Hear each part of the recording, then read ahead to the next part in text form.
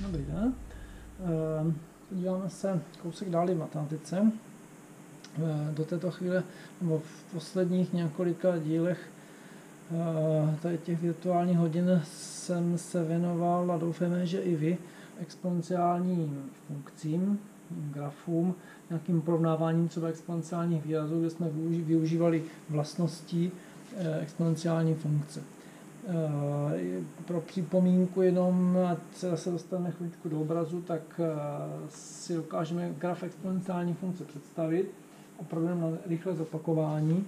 Eh, vzpomínáme si, že vliv na to, jak ten graf exponenciální funkce vypadal, měl základ exponenciální funkce, která teda vypadá nějak takhle.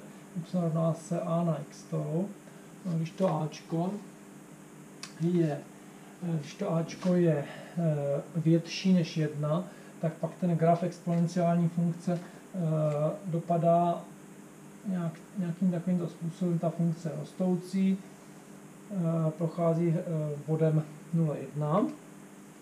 Když ten graf, když to Ačko, když to Ačko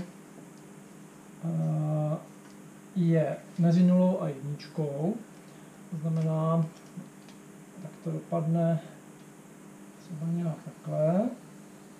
Tady dostáváme takovýhle, nějakou, takovýhle nějaký graf. No a toto znamená teda, eh, že A náleží intervalu 0, 1. No, takhle dopadne ten graf. Ten tak úplně na úplný opakování, jak vypadá exponenciální funkce a její graf. E, trošičku jednou grafického řešení exponenciálních rovnic potom toho grafu budeme využívat. Exponenciální rovnice.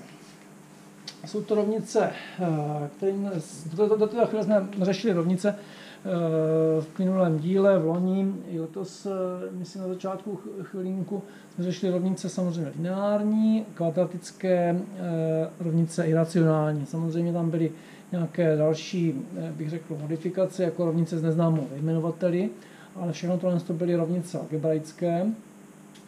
Ehm, dá se říct, že eh, rovnice exponenciální už nezařazujeme do skupiny algebraických rovnic, ale to není to celkem důležité, podstatné, aby jsme uměli řešit.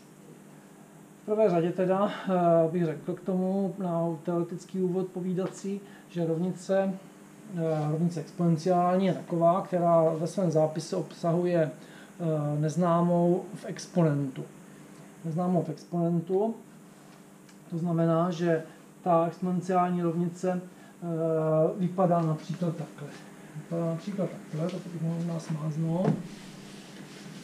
A exponenciální rovnice je třeba 7 na x rovná se 1. Jo? Tohle, to, tohle to je exponenciální rovnice.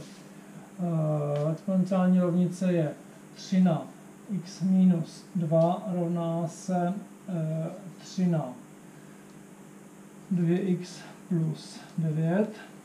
Myšlím si, i tohle exponenciální rovnice v každém případě tak platí, že se ten, ta neznámá vyskytuje v exponentu. Není pochopitelně exponenciální rovnice, e, když mám nějaké x na druhou minus 2x rovná se 9 to je rovnice kvadratická, eh, neznámá x se vyskytuje nikoli v exponentu, ale eh, v zápise běžném řádku, není to, není to v exponentu. Jo?